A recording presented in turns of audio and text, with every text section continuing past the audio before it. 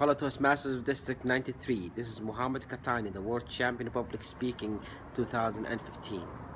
I'm honored and thrilled to be joining you in your district conference this May.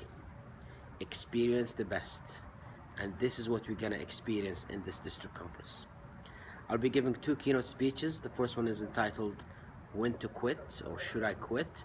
And it just talks about basically when is the best time to actually quit in your journey. And the second one is titled From Desire to Mission, which is a simple step by step into realizing your passion in life and how can you pursue it. I'll also be giving a workshop titled Be a Master Negotiator because negotiation is a skill that we all need, not just in Toastmasters but even in our personal life. I look forward to meeting you all. Let's get together